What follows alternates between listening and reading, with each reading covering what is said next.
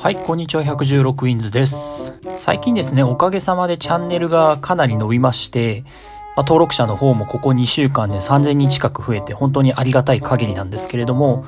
そこでですね、なんかコメントで結構なんでマリナーズファンになったんですかっていう風に聞かれることが結構増えてきたんですね。まあ、確かにマリナーズといえば、まあ、かつてはイチローがいて、日本人の中でもかなり馴染みのある球団だとは思うんですけれども、まあ、そのイチローもすでに引退してしまいましたし、まあ、今もですね、一応菊池とそれから平野という、まあ、日本人はいるんですけれども、まあ、日本人って未だにマリナーズファンを続けてる人って確かに少ないと思うんですね。なので今回は私がマリナーズファンになったきっかけっていうものをちょっと話していきたいなと思っております。で、まずマリナーズファンになったきっかけを話す前に野球を好きになったきっかけなんですけれども、これはですね、2002年、まあ、松井秀喜がですね、シーズン50ホーマー達成した年なんですけれども、まあ、そこでですね、松井という選手に興味を持って、で、野球というスポーツを見始めたのが本当の最初ですね。本当にちっちゃい時は全く野球というスポーツに興味はなくてですね、もしあのタイミングで松井秀喜という野球選手に出会っていなかったら、まあ、おそらく今の自分はないのかなというふうに思っていますね。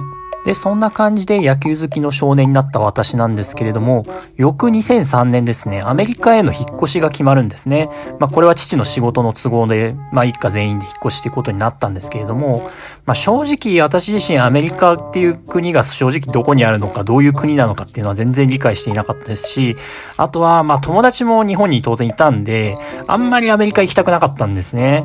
で、引っ越し先が、まあアメリカの西側の州だったんですけれども、まあその州自体には野球チームはなかったんですが、一番近いチームがマリナーズだったんですね。で、私当時マリナーズというチームがどういうチームなのかっていうのは正直あまり理解はしていなくて、まあイチローがいるっていうのは知っていたんですけれども、まあそれぐらいの知識しかない状態だったんですね。で、ただまあ野球が見られればいいやとは思っていたので、まあ父にですね、ちょっと毎年一回は野球場に連れて行ってほしいっていうふうに、まあわがままを言った記憶はありますね。で、そこで初めて私とマリナーズのつながりっていうものが、まあある意味できたんですけどれども、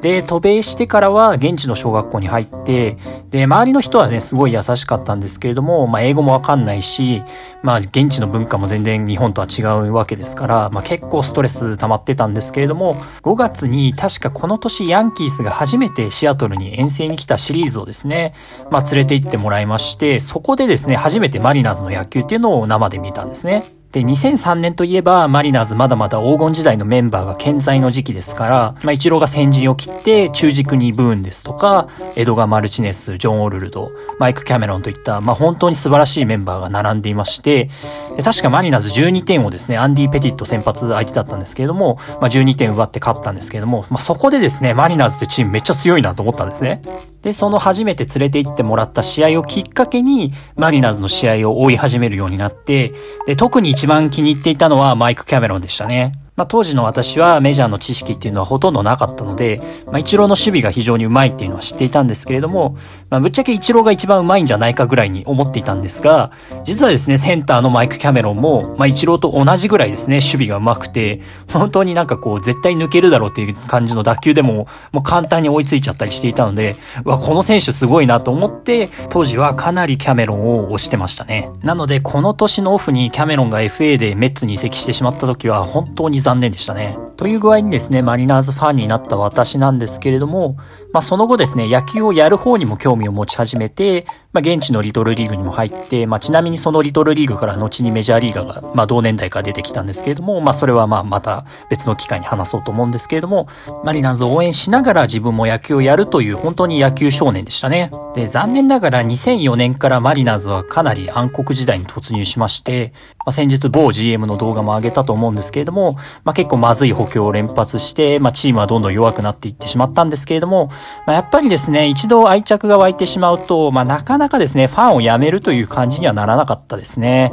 チームは間違いなく弱かったんですけれども、まあなんだかんだあの時代の選手たちもまあな結構愛着がありまして、まあ、セクソンですとか、ベルトレですとか、あとはロペス、ベタンコートの二遊間ですとか、まあ、なんだかんだ思い入れのある選手たちですね。まあ、正直チームが弱いのは分かってはいたんですけれども、まあ、心のどこかでひょっとしたら今年こそはっていう思いが、まあ、ちょっとあって、毎日ですね、マリナーズの試合をラジオで追ってましたね。なかなか21世紀に入ってラジオで試合を追うっていう人は、まあ、珍しいとは思うんですけれども、まあ当時ですね、マリナーズの試合を見るためのケーブルテレビに、まあ我が家は加入していなくてですね、まあ親に何度か頼んだこともあるんですけれども、まあ結局ダメということで、まあラジオで毎日ですね、試合の方を聞いてましたね。という具合にですね、アメリカ生活はマリナーズを応援するのにほぼ費やして、で、高校入試のタイミングで日本に帰国したんですけれども、まあ帰国してからも引き続きマリナーズのことは応援していて、で、高2ぐらいの時に、まあ今はもうないんですけれども、スポナビブログというところに、まあマリナーズの応援ブログを作りまして、まあそのブログ名が116ウィンズなんですけれども、まあそれが今に至っているっていう感じですね。なので未だにマリナーズを応援している理由としては、まあイチローがいるから応援していたというわけではなくて、まあ、当時の黄金期のメンバーの試合を見て、で、特にマイク・キャメロンという選手が好きになったっていうところが、今でもファンを続けている理由になってくるのかなと思いますね。なので、もし父の転勤先がシアトルとは本当に見当違いの場所だったら、まあ、自分がマリナーズファンになっていたってことはおそらくなかったと思いますので、まあ、本当にですね、ラッキーな巡り合わせだなと今では思いますね。まあ、残念ながらマリナーズはなかなか強い時期が未だにやってこないんですけれども、まあ、いつかですね、マリナーズが、まあ、プレイオフ、そしてワールドチャンピオンってなった時に、まあ、子供の時から応援していたチームがついに優勝となれば、きっとその喜びも大きいと思いますので、まあ、今はですね、その時が来るのを待ちたいなと思います。ということで、今回の動画は以上となります。今後もですね、マリナーズ、そして MLB に関する話題、関する動画を上げていく予定ですので、まあ、ぜひですね、興味を持った方、チャンネル登録していただけると幸いです。それではご視聴ありがとうございました。